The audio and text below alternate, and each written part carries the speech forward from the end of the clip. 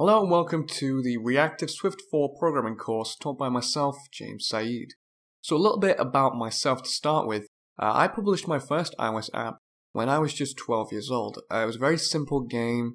At the time, Objective-C is what apps were written in. However, at the time, I was only fluent in Java. And so I wrote this app using Java and the libgdx framework, which allowed me to export iOS using Java. I've then gone on to teach object-oriented programming, mostly Java, on YouTube to an audience of now over 3 million total video views and well over 30,000 subscribers. And ever since Swift 4 has been announced, I've managed to publish two iOS apps, both optimized for Swift 4 and iOS 11 in these last six months alone. So a little overview of what we're going to be going through in this course. In the first section, we'll just focus on getting started with quite a few introductions, a setup video, and some installations. We're then going to begin designing a simple app. In that, I'll run you through the storyboard, how auto layout works, and using a table view. Then we're going to get into the nitty gritty of RxSwift under the logic section, in which we'll have a deep look at observables, operators, and using RxSwift in a real world concept with our app that we're designing.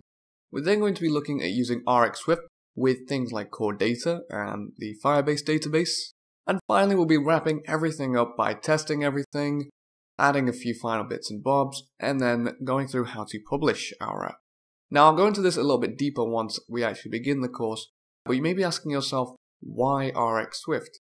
And the reason for this is that the reactive approach will help you to write clean, cohesive, resilient, scalable, and maintainable code. And for me, those last two points what most important and most useful about RxSwift is that it makes your app scalable to a very easy degree and just makes your code look so much nicer to the point where it is very much maintainable and manageable. So the app we're going to be developing throughout this course is just a simple movies app in which the user can search for a film, click on it in the table view, and then they'll be brought to a detailed view in which they can view all the important information about that film.